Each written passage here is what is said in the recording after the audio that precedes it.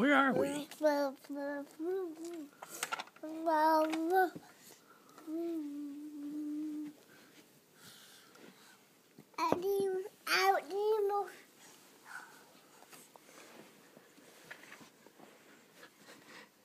Do you want Elsie out?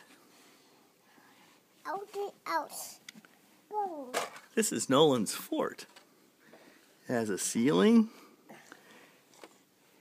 And he's got all his toys in here. Everything's organized.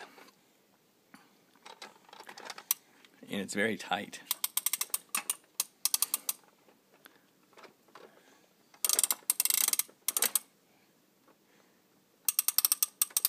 Can you say Obama?